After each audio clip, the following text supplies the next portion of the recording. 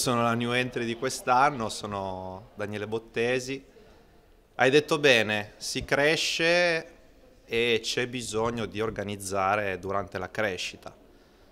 Non nascondiamo che l'annata è particolare, per noi come per tutti, ma non vogliamo cedere a questa particolarità, se vuoi, negativa, nel senso che noi abbiamo la grande possibilità di agire su un enorme territorio, quindi vogliamo sfruttare questo privilegio per eh, avere una base solida di bambini.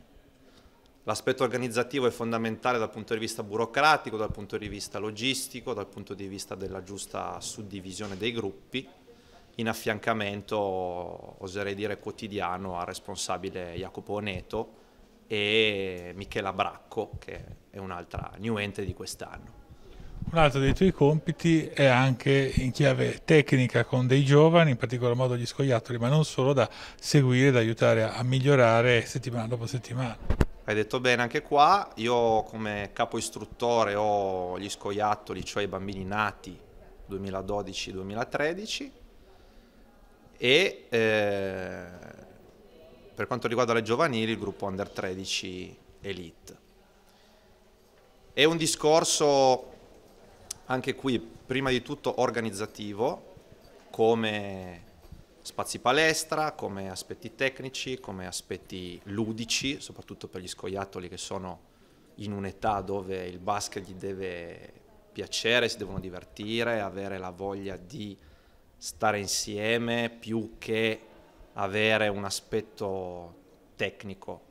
Quindi diamo importanza all'aspetto ludico sulle fasce di età basse per poi crescere con eh, le giovanili e le prime squadre quando sarà il momento. Hai citato le prime squadre, ti occupi della loro preparazione fisica? Sì, faccio anche questo. In questo momento mi sto occupando della preparazione fisica sia della prima squadra femminile, quindi B, che della squadra maschile Serie C.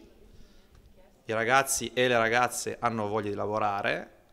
Il preparatore fisico è una figura come dire, non facile da integrare, ma se si riesce a creare un contesto di staff eh, unito come sta effettivamente succedendo, il responso c'è, sul campo si vede.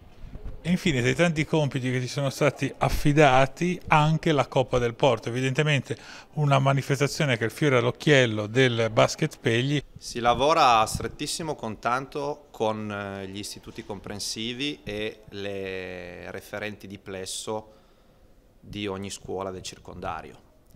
È ovvio che ci sono dei punti interrogativi perché bisogna rispettare giustamente delle, dei regolamenti anti-Covid eh, severi ma noi tuttora siamo in contatto con eh, molti plessi che vogliono comunque partecipare alla Coppa del Porto. Noi siamo contenti di questo spirito di volontà.